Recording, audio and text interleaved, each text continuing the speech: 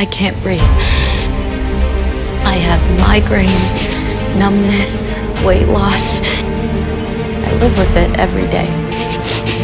The illness that I'm suffering from is an anxiety disorder, and it deserves to be treated like any other illness.